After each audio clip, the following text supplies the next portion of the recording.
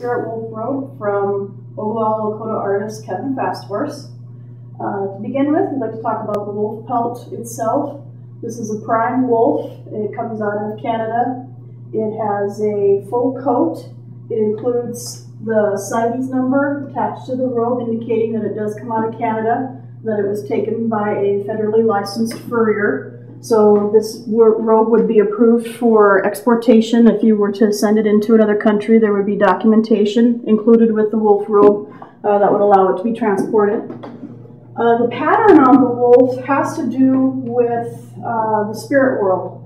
Uh, as Kevin points out, uh, wolves are seen as a very spiritual animal by the Lakota and is often included in Lakota ceremonies.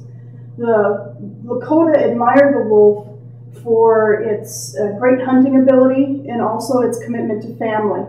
Uh, if you look at the image design here, you will see that there are several different kinds of wolves included on the robe. A white wolf, a black wolf, and a gray wolf. Uh, they are all part of the pack, and that's that commitment to family. They also work together as a team to ensure a successful hunt. And these are qualities that the Lakota admire and like to draw upon when they're going on a hunt to provide for their own families. Uh, the center strip here uh, the, includes spirit tracks, which show the wolf's presence in the spirit world as well as the physical world. And the center pattern, the geometric pattern, Kevin usually uses this pattern to indicate the Lakota people and the relationship that they have with this animal.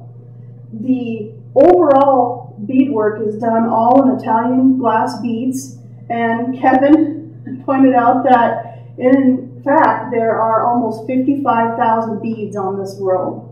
Uh, the colors are earth tone to indicate the environment of the wolf.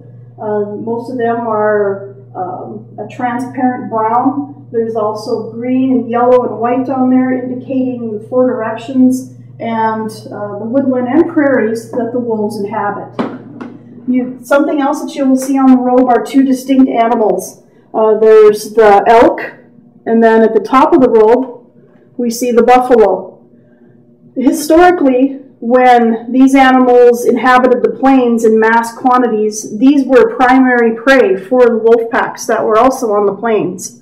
Uh, now most of them are restricted to mountain ranges, and wolves continue to hunt buffalo, elk, and other prey animals the way they did uh, when they were first documented by fur traders coming across in wagons.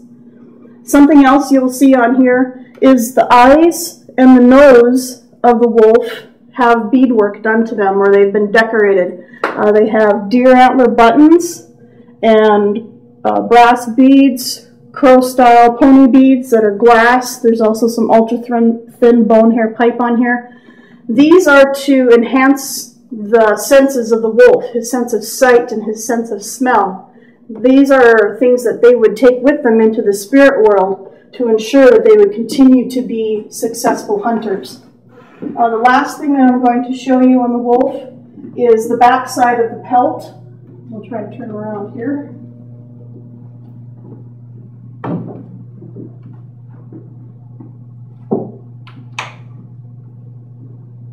You can see the prime condition of the coat, how it has that nice dark dorsal stripe. The wolf is supported across the top with this hand-carved hanger bar done by Kevin Fast Horse. It is carved with a wolf effigy with the head of the wolf on one end and a paw of the wolf on the other end.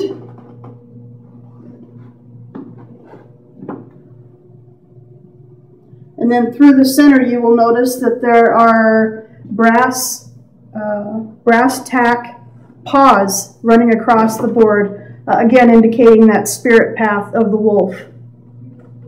This is an excellent example of Lakota-style beadwork, uh, once again done by Oglala Lakota artist Kevin Fast Horse.